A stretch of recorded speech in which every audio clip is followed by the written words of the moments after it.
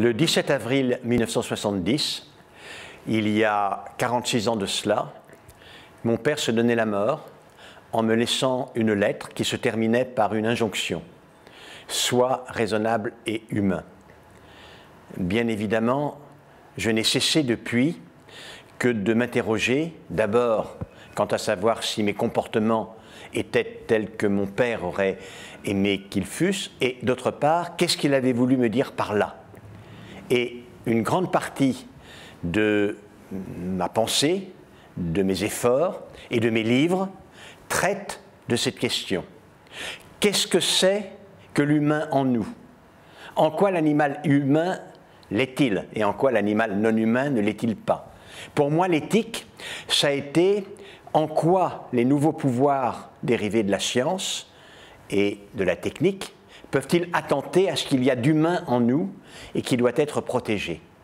Et je ne vais pas reprendre les titres de ces livres, mais en effet, ils marquent une pensée. J'avais eu l'intention, quand je me suis mis en route pour marcher, deux fois plus de 2000 km à travers la France, de profiter de cette longue itinérance solitaire pour faire le point de ces travaux intellectuels, de cette réflexion qui s'est déroulée sur plusieurs décennies. Et puis j'ai eu tant de choses à raconter qu'en réalité j'ai fait deux livres de voyage.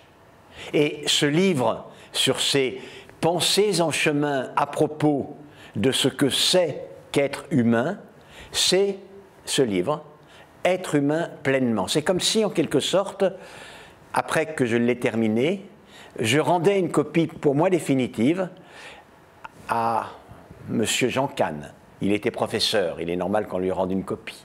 Voilà, papa, je ne sais pas trop ce que tu m'as demandé de faire, mais j'ai essayé en tout cas d'y répondre. Et le résultat de cette pensée, c'est ça. Elle s'articule, cette pensée, à travers un conte philosophique qui met en scène deux petites filles. Elles naissent dans le sud de Bornéo, le papa est un médecin de 40 ans, Ahmad, la maman une jeune infirmière, Purvanti. Ce sont deux jumelles vraies. Elles sont magnifiques, tout le monde en est amoureux, mais alors qu'elles ont six mois, un terrible incendie détruit la maison. Dans l'incendie, Purvanti est sauvée, l'une des sœurs jumelles, Dewi, est sauvée, mais en tentant de sauver Eka, la deuxième sœur, Ahmad, le père, meurt et on ne retrouve pas Eka. On croit qu'elle a brûlé totalement. Dewi va vivre avec sa maman, puis dans une famille recomposée, extrêmement aimante. Elle va être une enfant prodigieuse, une écolière brillante, une étudiante précoce. Dès son master, elle fait des découvertes extrêmement importantes qui lui permettent d'être acceptée pour faire un doctorat à Amsterdam. Et puis ensuite, un postdoc aux États-Unis, à Princeton, et là, elle a trouvé le moyen de provoquer la réparation, la régénération des tissus nerveux humains lésés par une maladie, un accident. On sait qu'elle peut avoir le prix Nobel. Elle est l'une des femmes les plus prodigieusement brillantes de sa génération. Elle aura le prix Nobel. Sa sœur n'est pas morte.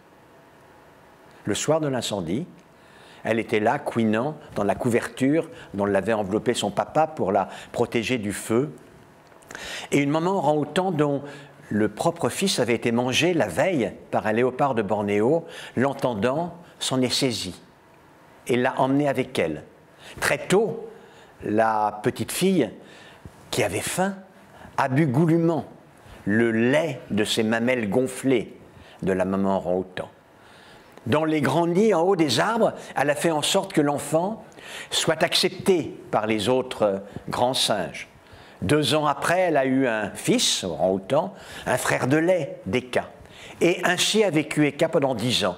Au bout de dix ans, à l'occasion d'une déforestation pour planter, c'est la plaie là-bas, le palmier à huile, on retrouve une enfant sauvage, grande fille nue, aux grands cheveux noirs emmêlés, qui ne parle pas.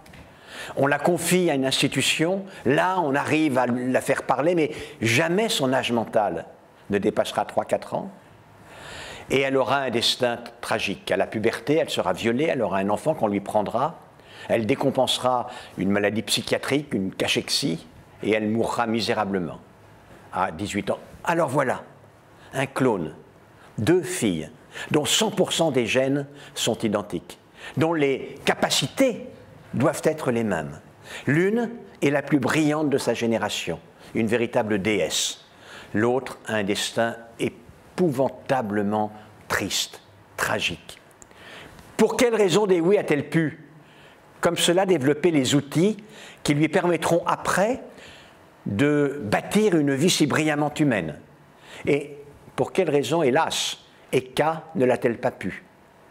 À partir du moment où Dewey s'en est saisi de ces outils, comment les a-t-elle utilisés pour, en effet, bâtir cette vie? À l'école, lors de son adolescence, confrontée aux premiers émois de la sexualité, aux émois du corps, confronté au couple, confronté à l'engagement, au travail, à la beauté, tout ce qui peut faire une vie humaine. Dewey y est parvenue, elle a eu cette vie magnifique parce que, ayant ces outils, ça ne dépendait pas d'elle, ça dépendait des conditions dans lesquelles elle avait passé sa première enfance. Elle a osé vouloir s'en servir pour bâtir une vie authentiquement humaine. Et elle y est parvenue. Tout le monde peut faire pareil, en quelque sorte. Eka est évidemment un modèle, une star inatteignable, mais à la fin, et je ne compterai pas la fin, elle va se réhumaniser, en quelque sorte. Et elle va boucler, reboucler en quelque sorte, le cercle de la gémilité brisée.